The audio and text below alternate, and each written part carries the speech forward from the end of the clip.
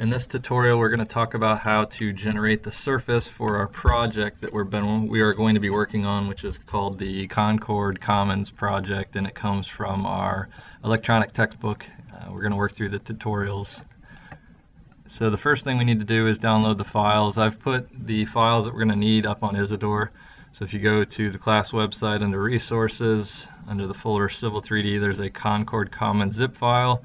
So I'm going to right click on it, save the link as, and I want to make sure that I'm going to put this in the C drive under Civil 3D projects. So I'll save the zip file to that location.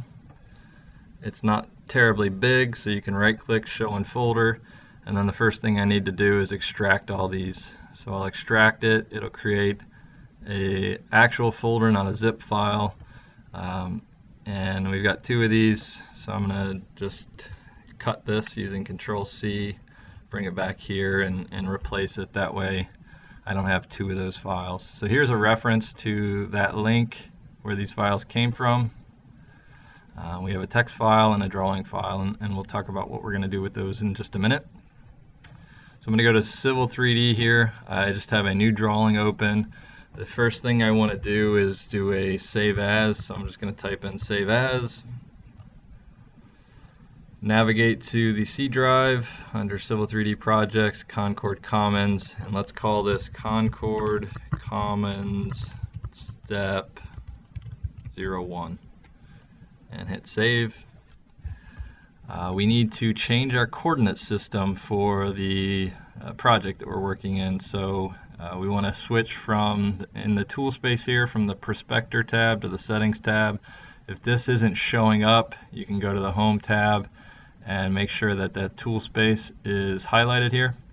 Go to settings, right click on our file name, edit drawing settings, and here instead of the zone, the coordinate system zone, no datum, we're going to put in a particular code and the code is Pennsylvania uh, 83-SF and we'll hit OK that just makes sure that all of our coordinates are now referenced to that particular coordinate zone. Uh, the next thing we need to do is go to points and actually pull in the text file of points that we're going to be working with. So under points, we can go to the point creation tool. Uh, this brings up this menu here and the far right says import points. So we'll click on that.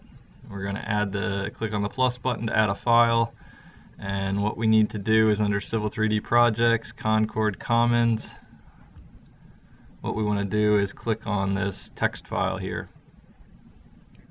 We'll hit open.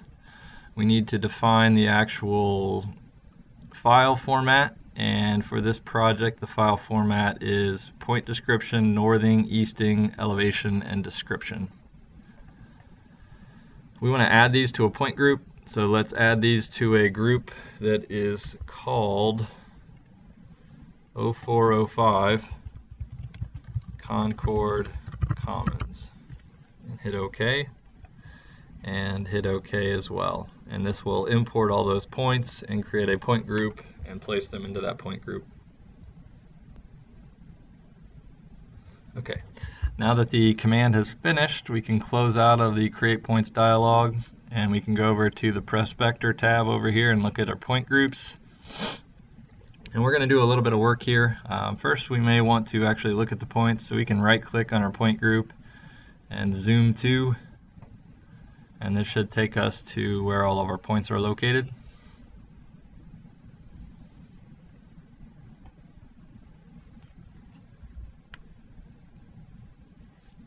So here you can see our points uh, we're going to create another two point groups.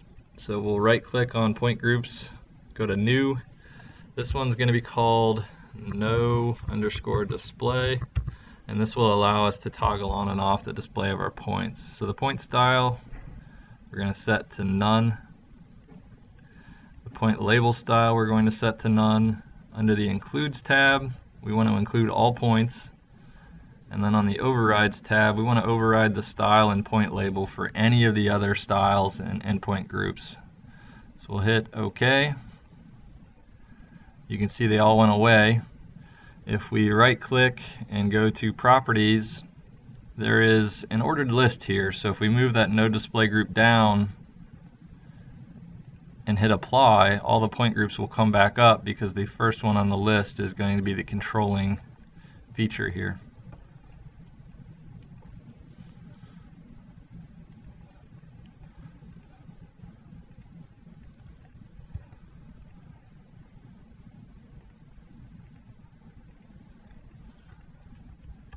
and we may need to regen our drawing. So if you type in regen at the command line, it'll regenerate your image.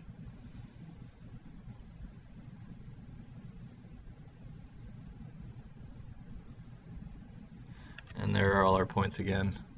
We're going to create another point group, so point group new, and this one is going to be called existing grade, so EG underscore topo.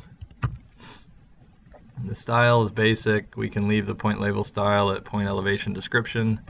And what we want to do is we want to include any elevations matching greater than zero. So this will take care of some of the problems we have with points that import and aren't um, at a particular elevation or an elevation of zero. We could look at a point list here and if you sort by point elevation you can see now that the lowest point is about 620 feet the highest being 888 feet. So that looks right. We'll hit OK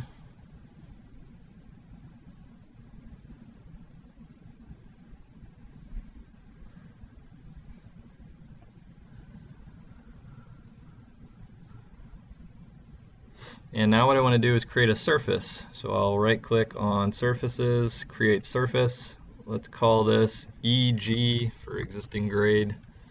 Um, we can leave all this alone. We'll hit OK. Now under the prospector tab here, under the EG surface, we want to use the definition and we're going to define our surface using a point group. So we'll right click on point groups and add the EG topo group. Brings up some messages here. Um, we can ignore those. So we'll just close out of that.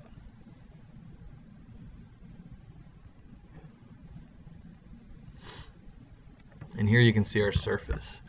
Uh, one of the problems with the surface is that it is trying to triangulate from all of these points to the nearest point. Um, what we could do is under the surface, go to surface properties, and under the information surface style we could use contours and triangles and take a look at this. And you can see some of these triangles are pretty faceted here. Uh, we're trying to tie in points from all the way over here up to here. And that's not ideal because uh, the, the majority of our densely populated data is over in this direction. So what we want to do is eliminate some of those longer triangles and the way to do that is by clicking on our surface, go to surface properties, we'll change this back to uh, 2 and 10 foot background contours. But under definition build, what we want to do is under the um, maximum triangle length, we're going to change that to yes and we'll start by using, uh, let's go 200 feet. And if we hit apply, we can rebuild the surface. I'll dismiss this log here. And you can see that it has cleaned up quite a bit of our, our surface area here. Um, there's still a bit of stuff going on that, that may not be quite accurate, um, and we could further refine this if necessary. Uh, so at this point, we've got a surface and we've set the max triangle length and what we have now are contours here. Uh, I'm going to change my point group around so I'm going to go to properties and I'm going to set my no display group at the very top just so I don't have to look at all of those points and I can work um, on my surface here. So here we can see our surfaces. These are our contours at um, 2 and 10 foot intervals I think. And it might be nice to actually add labels to some of these and uh, we can do that by clicking on them and then under the add labels tab here we can add uh, contours. We can add multiple contours here. And what we really do is we just end up drawing a line that intersects the contours and it'll place contour labels for us. And so we can see the contours here are at 740 and this is the recess or valley and it comes all the way up here to you know 786 up to 800 up here. Um, so we can see the hill is sloping down this way. We could come over here and do the same thing if we wanted to look at these contours uh, over in this direction as well. This line here you may not like it. Uh, it actually belongs to the C topo text layer and we could turn that particular layer off if we didn't want to look at that line and that gives us uh, a more appealing look at our contours here. So this is the surface. Uh, let's go ahead and save this now. So we've already named the file as Concord Common Step 1 Drawing and we'll hit save and that concludes our surface generation.